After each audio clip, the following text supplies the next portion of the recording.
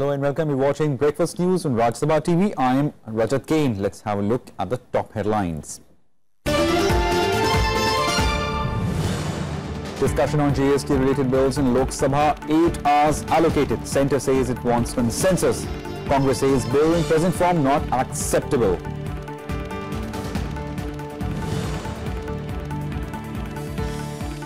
Prime Minister to host dinner for NDA MPs, a move aimed at seeking support for the NDA's presidential candidate. Sena plays tough to get.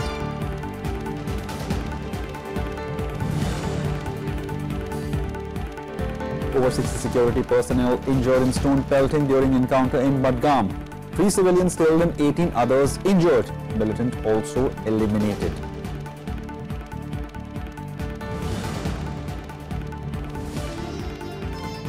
Trump administration rolls back slew of Obama-era regulations on climate change, signs executive order to revive coal industry.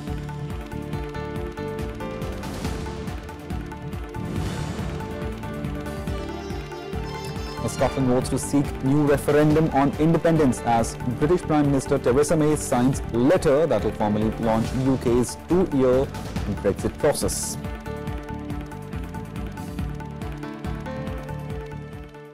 The Lok Sabha will take up the Goods and Service Tax Bill for discussion and passage today. Eight hours have been allocated by the Speaker for the discussion on the bill. Finance Minister Arun Jaitley had tabled the four GST-related bills CGST, IGST, UTGST and the GST compensation bills in Lok Sabha on Monday.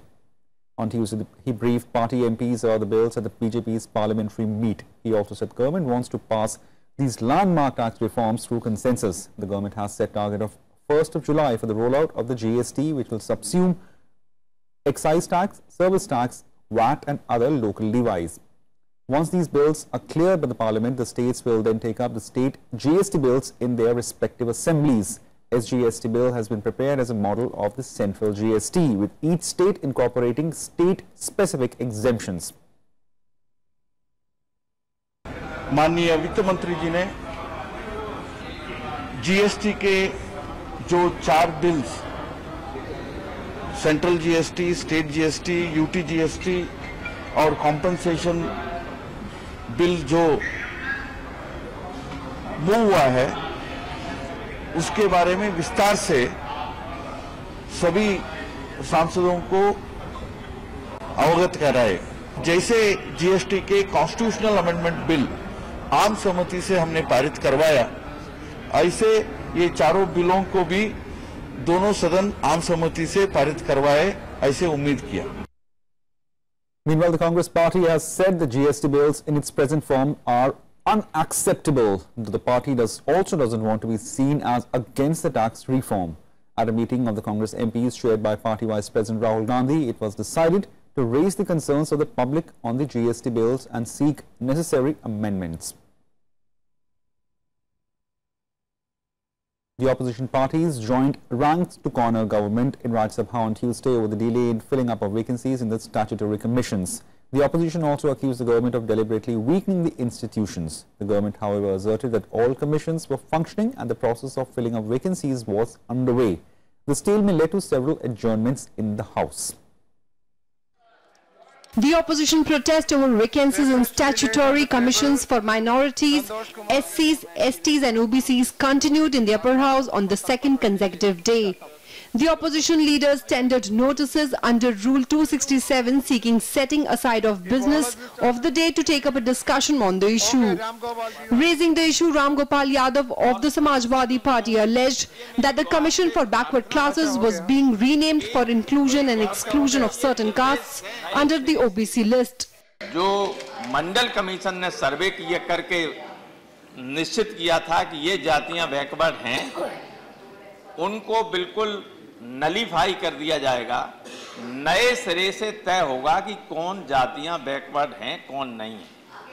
और संसद उनको तय करेगी कि किसको इसमें से निकालना है, किसको रखना है। और यही स्थिति पैदा कर देंगे ये शेड्यूल कास्ट जो अनुसूचित जाति आयोग है उसमें, अनुसूचित जनजाति आयोग है उसमें।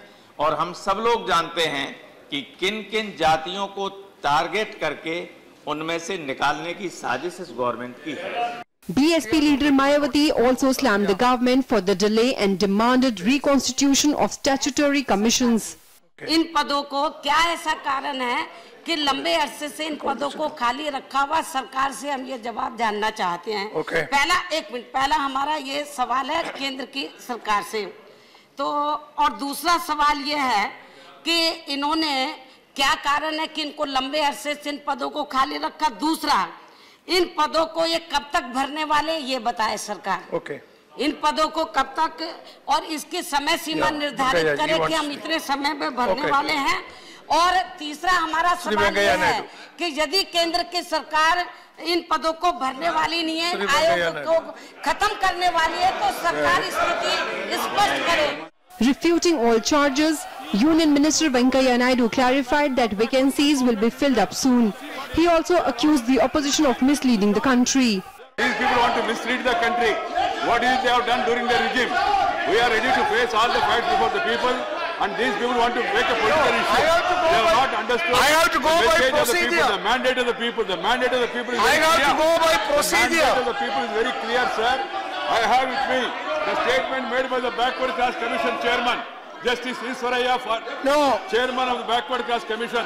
The entire country is welcoming wholeheartedly the Prime Minister's decision of having constitutional status for the mandal, for the Backward Class Commission. Naidu's assurance failed to dispel the apprehensions of the opposition parties. The Congress, SP, BSP members marched into the well of the House, raising the pitch against the government. The BJP members also moved to the aisles and slammed the opposition for disrupting proceedings.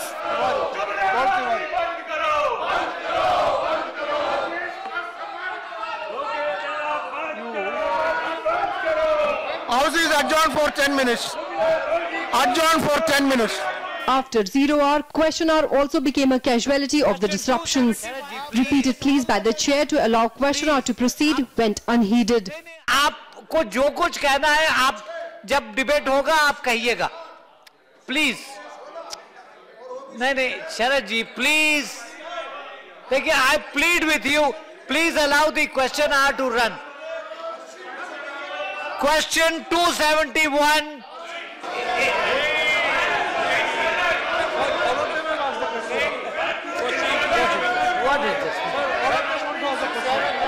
As chances of reconciliation looked bleak, the chair adjourned the house till 2 p.m. House is adjourned till 2 p.m. Priti Mishra's report for Rajya Sabha TV. The opposition's tirade against the government continued even in the post-lunch session. Government's assurance fall failed to cut ice with the opposition leading to adjournment of the House till Wednesday.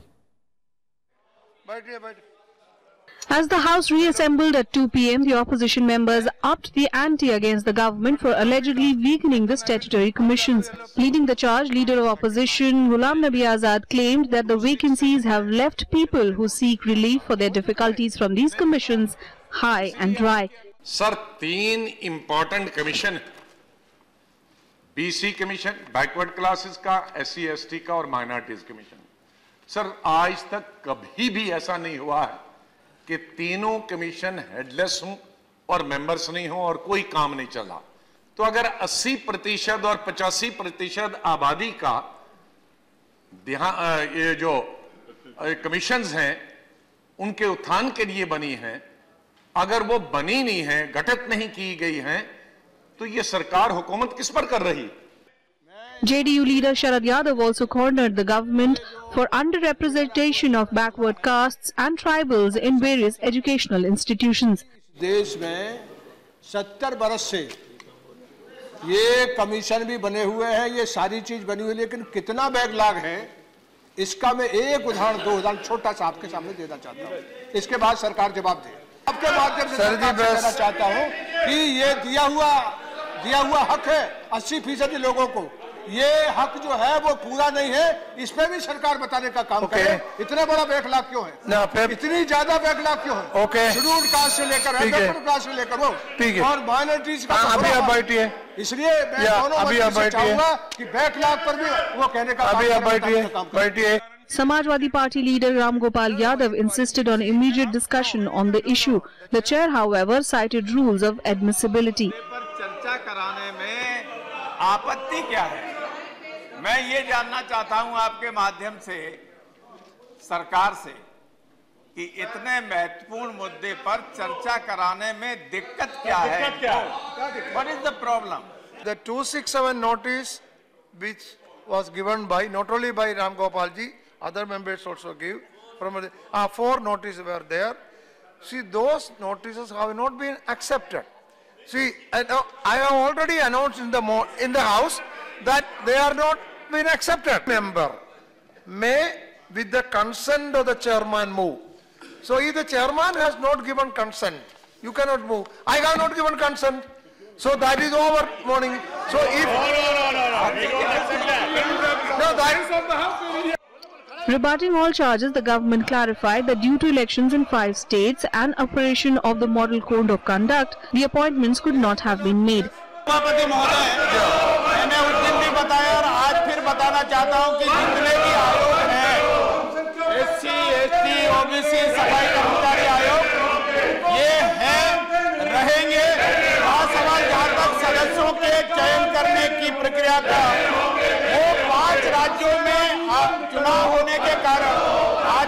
संहिता के कारण रुकी थी और ST आयोग का गठन हो चुका है एससी कमीशन के सदस्यों के चयन की प्रक्रिया जारी है और मैं माननीय एलओपी साहब ने जो कहा था कि ऐसा विलंब इसके पहले कभी नहीं हुआ तो However, the government's assertion failed to quell opposition protests. The Congress, Samajwadi Party and BSP members again trooped into the well of the house.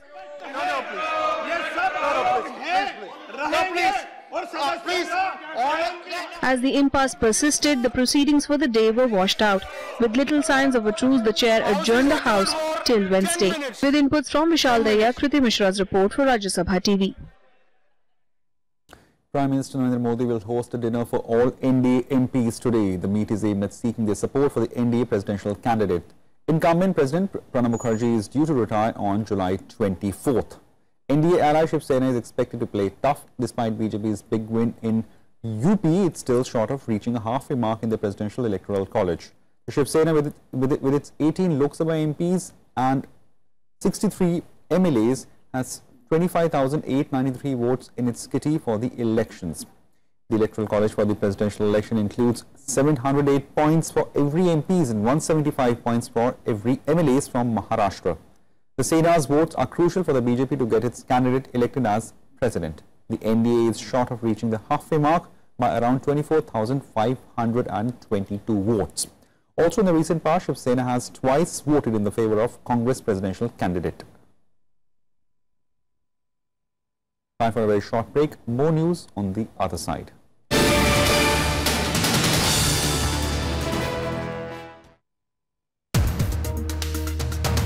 Goa and Manipur looked like a stolen kingdom as what the Congress says. opportunity was everybody with, with the Congress party and with the BJP.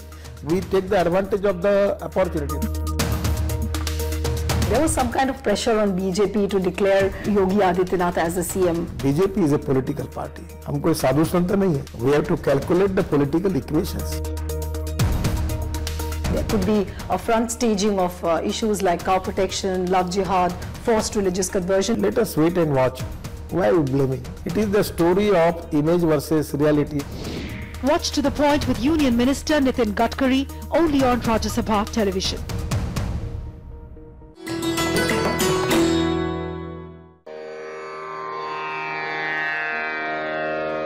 The sacred relics of Buddha were unearthed in Piprahwa in Uttar Pradesh.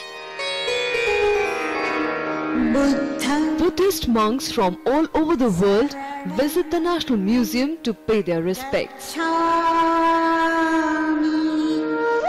These charred bone fragments of Buddha are housed in the gold canopy gifted by the royal family of Thailand.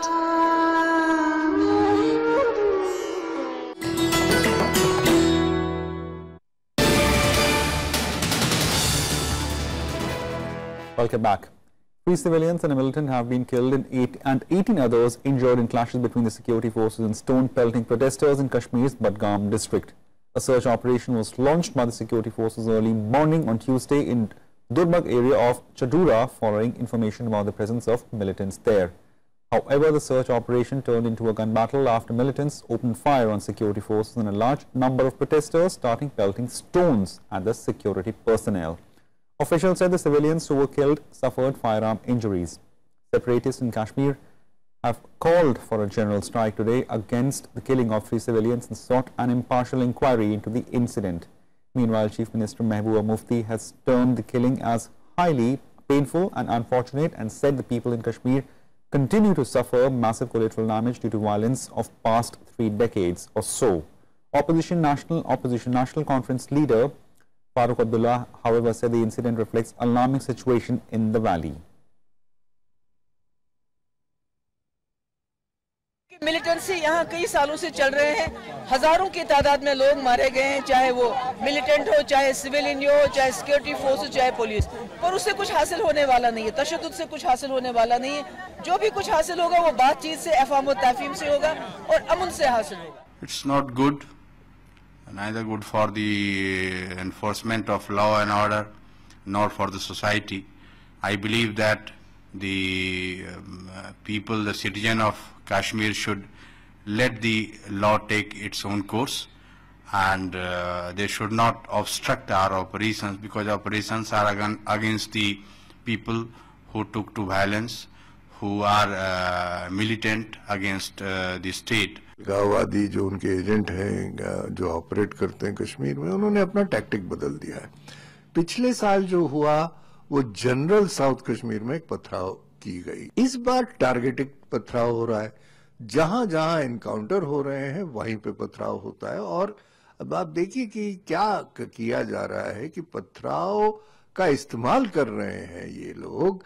कि आतंकवाद जहाँ पे है और आतंकवादी जहाँ encounter में गिर गया है उससे ये कवर दे रहे हैं पथराव से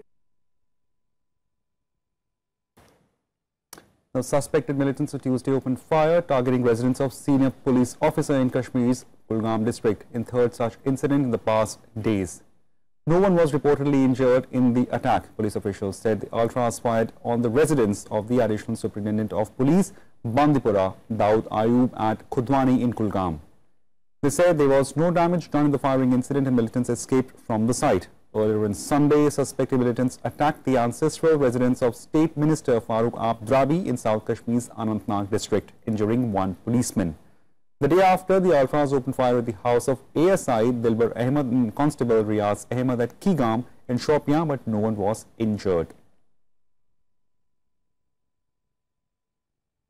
The Indian Navy's iconic Tupolev 142M anti-submarine warfare aircraft will be decommissioned today after serving as mainstay in guarding the Indian Ocean region for almost three decades. The aircraft would be decommissioned by Chief of Naval Staff Admiral Sunil Lamba at ceremony at INS Rajaji, Rajajali in Tamil Nadu's Arakkonam. The Soviet-era aircraft, known as one of the most formidable airborne reconnaissance platform around the world, were part of all major naval exercises and operations of Indian Navy since its induction in 1988. Tupolev 142M fleet is replaced by 12P-8I maritime surveillance aircraft of Boeing, which were equipped with Harpoon anti-ship missiles, lightweight torpedoes, rocket and new generation sensors and radars.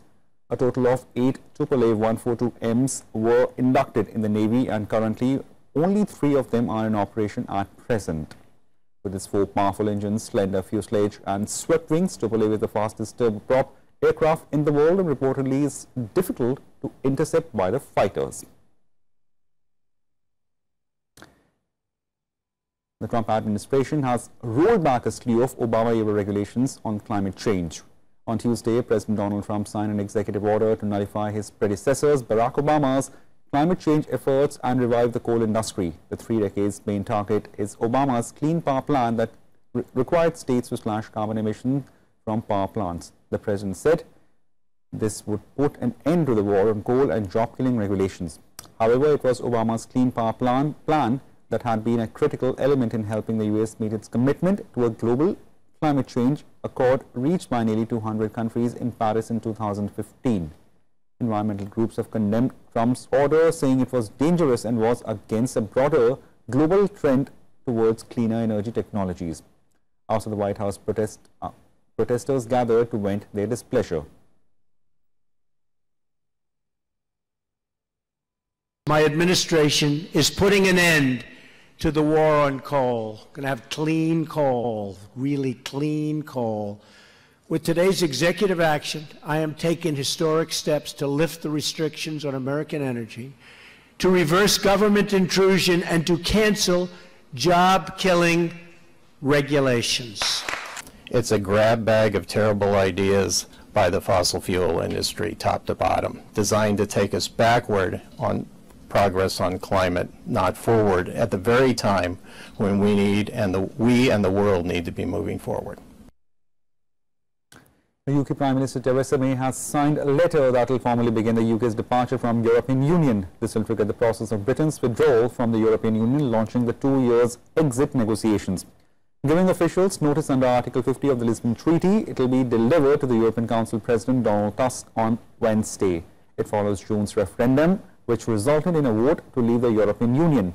The Prime Minister who will chair the cabinet meeting today will then make a statement to the MPs confirming the countdown to the UK's departure from the European Union is underway. Formal notification will start the clock ticking on two years of talks between the UK and European Union to conclude the terms of Britain's exit and establish future relations between the two parties. If no deal is reached, the UK will effectively fall out of the Union on March 29, 2019, two years to the day after Article 50 was triggered. Tomorrow we begin the negotiations to secure a new deep and special partnership with the European Union. As we do so, I am determined that we should also seize this historic opportunity to get out into the world and to shape an even bigger role for a global Britain. This means not just building new alliances, but going even further in working with old friends who have stood alongside us for centuries. However, just hours before Britain embarking on its momentous journey out of European Union, Scotland's Parliament in Edinburgh voted to demand a new referendum on Scottish independence. MSPs voted by 69 to 59 in favour of seeking permission for a referendum before the United Kingdom leaves the European Union, but the timing has already been rejected by May. UK government saying it will block a referendum until after the Brexit process has been completed. Nevertheless, Scottish Parliament's vote sets a stage for con constitutional tussle between London and Edinburgh. The Scottish Government now has a mandate from Parliament to seek discussion with the UK Government. Uh, we will now seek sensible and constructive discussion. Uh, we will do that after the triggering of Article 50. I recognise that tomorrow is a big and important day for the Prime Minister. I hope the United Kingdom Government will respect the view of Parliament. This is simply about giving people in Scotland a choice. We agree that now is not the right time for that choice, but that choice should be available to people in Scotland uh, when the terms of Brexit are clear. After a powerful cyclone, Debbie made a landfall in Australia. A 1,300 kilometre stretch of its northeast coast has come to a dangerous risk of flooding. The cyclone has caused major damage, torrential rain and power cuts to tens of thousands of homes. Australian Prime Minister Malcolm Turnbull has activated a disaster, disaster response plan. With up to 250 millimeter of rain forecast on Wednesday, authorities have asked people to stay off roads to avoid being stranded in floodwaters. According to authorities, three people have been confirmed injured, but the number could also rise. More than 25,000 people were urged to evacuate their homes ahead of predictions the cyclone would be Queensland's most damaging since 2011. We are going to see the impact of Cyclone Debbie for the next three to five days as it travels down the coast and these winds can even end up uh, as a low pressure system uh, right along uh, the coast of uh, the southeast corner here. This is a very destructive storm and, and storm system and I think the public and the community of Queensland need to understand that we are going to get lots of reports of damage uh, and sadly uh, I think that we will uh, also receive more reports of injuries if not death and we need to be prepared for that. India's upcoming shuttlers Aditya Joshi and Pratul Joshi crashed out of the qualifying round of the Indian Open World Super Series. Former junior num world number one Aditya was expected to enter main round, but he failed to overcome Japanese Nishimoto Kenta, losing 21-14, 21-11. Shuttle also lost in straight sets to Kazumasa Sakai of Japan. However, in women's qualifying round, four Indian shuttlers, Anura Prabhudesai, Rasika Raje, Sai Uttejitha Rao, Lalita Dhaya entered the main draw with the victories in the qualifying round. That's for now. Keep watching Sabha TV for more.